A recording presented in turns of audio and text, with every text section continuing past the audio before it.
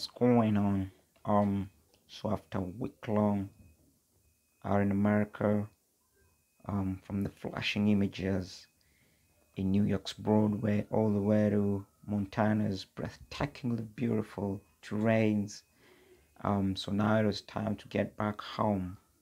So i started off in philly flew all the way to dc um met my boy larry mcdowell we had a little chat over a nice cold glass of water because, man, I was sweating bullets.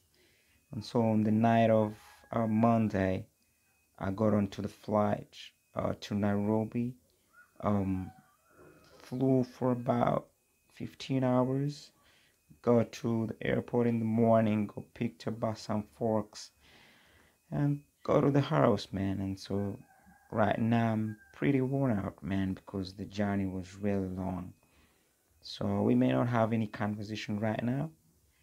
Um, I would suggest that we meet tomorrow at around 13 hours um, at 9 Western Road. There's a very pretty spot out there, a McDonald's spot. It's actually a few miles drive from the city center. And so we could have a hookup right there. And then I'm gonna give you five grand because I needed to buy about 20 pounds of potatoes and about five pounds of um, tomatoes because man I need to have some fries man. I'm craving for fries man. And so I need to have a good deal of it.